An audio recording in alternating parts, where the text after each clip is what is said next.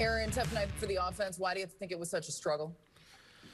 Um, first of all, I thought Lopez threw the ball well um, and and didn't give in. I mean, we were able to you know create some traffic against him. I think he ended up walking like five guys. So we did have a couple opportunities, but really weren't able to.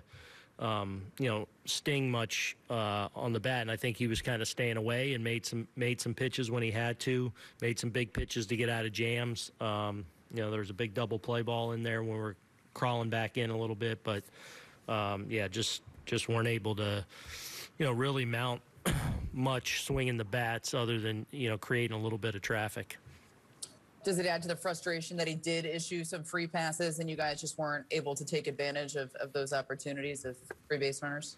I mean, sure. I mean, you always want to cash in or or or you know a big swing with with somebody out there. Um, you know, but but part of that, I think he was staying away from certain things, and and give him credit, he made some pitches uh, in some situations when he had to.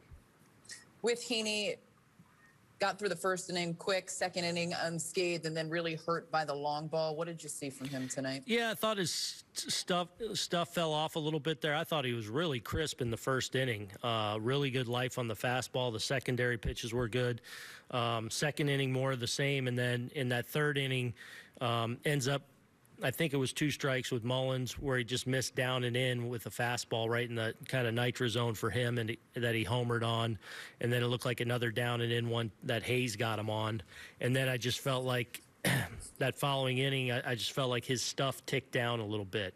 Um, you know, he's he, when he's good, he's got that good life on the fastball where he can he can get it by you, especially up in the zone.